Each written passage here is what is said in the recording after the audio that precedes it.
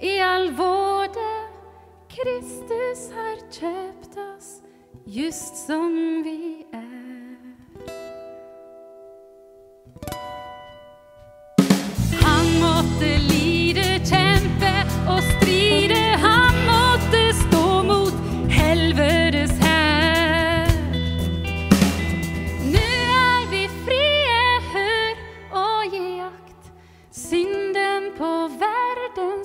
frelser er lagt.